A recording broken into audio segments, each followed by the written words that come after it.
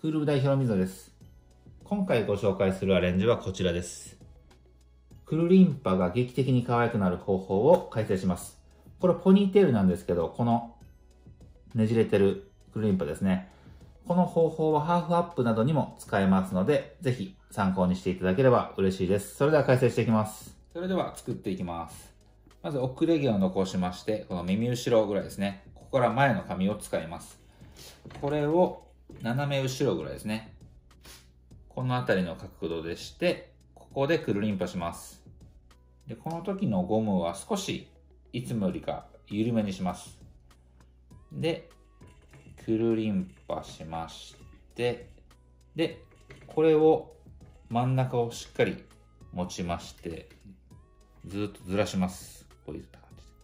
そしてもう一回くるりんぱします。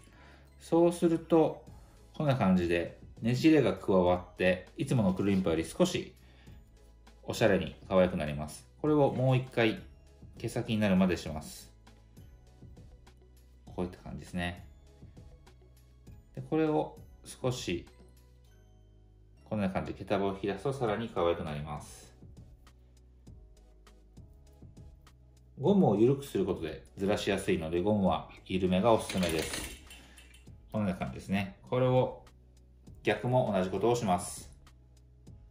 逆側は少し早めに行きます。少し緩めにゴムを止めて一回くるりんぱします。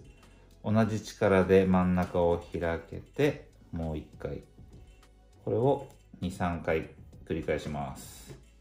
そして間隔を空けながらルーズにほぐします。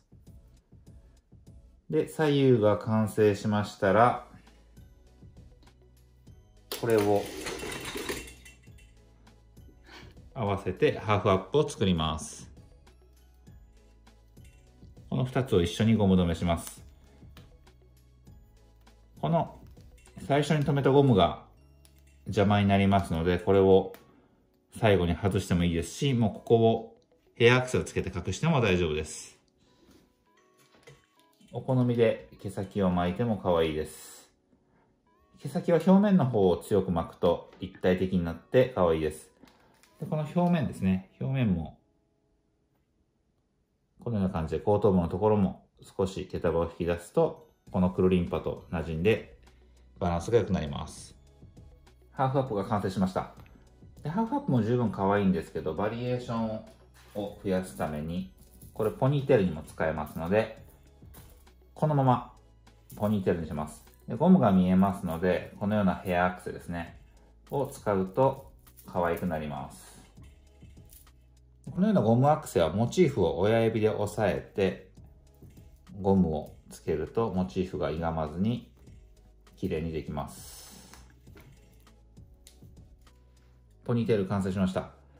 で、このクルリンパアレンジなんですけど、この隙間がどうしても空いてしまうことがあります。この時はこの隙間を、ねじれの隙間を閉じて、こういったアメピンで間をギュッと通します。こうするだけで簡単に治りますので、もし隙間が空いてしまった場合は、このような感じで直してください。